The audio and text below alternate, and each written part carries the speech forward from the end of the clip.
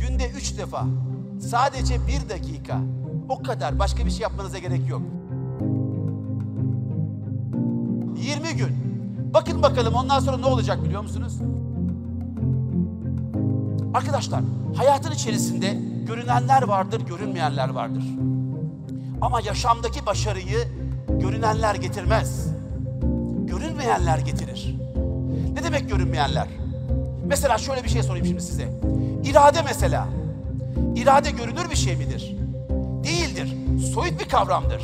Ama çok önemlidir irade. Eğer irade olmazsa sabrınız olmaz, devamlılığınız olmaz.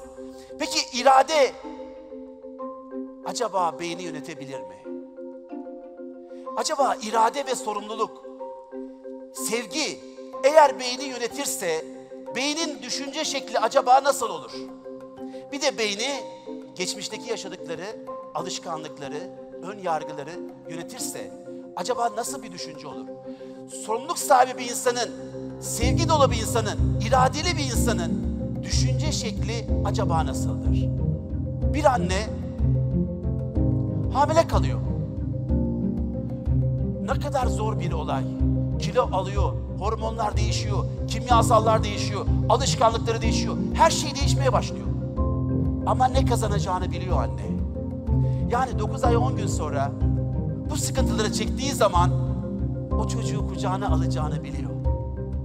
Her şeyi biliyor. Bakın sabretmeniz için irade ve sabır çok önemlidir. Sonucun ne olduğunu çok iyi biliyor olmanız lazım. Eğer bir şeye sabretmek istiyorsanız sonunda ne kazanacağınızı biliyor olmanız lazım. Peki acaba beyin sonunda ne kazanacağını biliyor olması yeterli mi? Ne gerekir? Beynin bunu yapabilmesi için görselliğe ihtiyacı vardır. Beynin bir şeyi anlayabilmesi için görselliğe ihtiyacı vardır.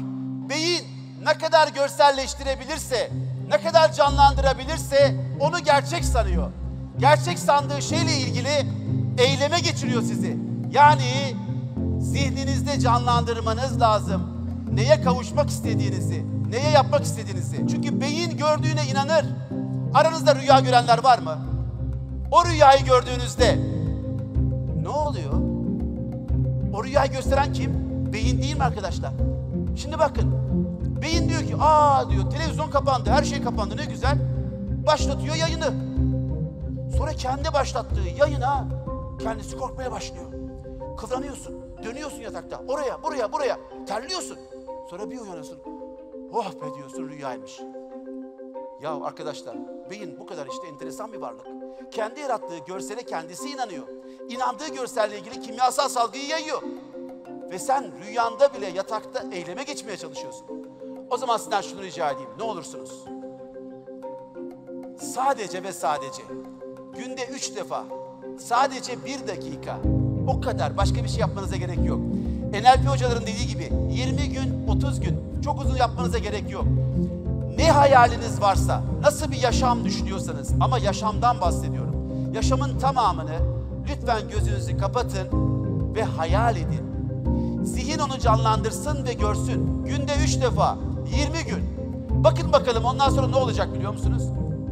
O hayale inanan bir zihin, yani rüya görür gibi düşüncelerinde de o hayale gitmek için bedeninizi eyleme geçirecek. Arkadaşlar zihnin en önemli noktadan bir tanesi söz vermektir. Buradan çıkarken söz verebilmeniz gerekir. Yaşamınızla ilgili, neyi kazanacağınızla ilgili, ne yapacağınızla ilgili. Çünkü söz, niyet, emir demektir. Beyne emir verirsiniz esasında. Eğer beyne siz kendiniz emir verirseniz, emir verdiğiniz yönde ilerler. Ve o emir, unutmamanız gereken çok önemli bir şeydir. Çünkü insan bir kere kendine söz verirse eğer ve o sözü yapmazsa artık o insan öyle bir insan değildir. Başka bir insana dönüşür. Söz veren bir insan sorumluluk sahibi bir insandır. Sorumluluk sahip olmak demektir. Sahip çıkmak demektir. Sahip olduğunuz şeye söz verirsiniz ve sorumlu olursunuz. Peki bu nereden doğar? Bunun güzelliği nereden doğar biliyor musunuz? Ancak böyle bir adam sevginin ne olduğunu anlamıştır. Kendini sevmeyi, ailesini sevmeyi, çocuğunu sevmeyi çok iyi bilir. İşte ancak böyle bir adam sevgiyi anlar.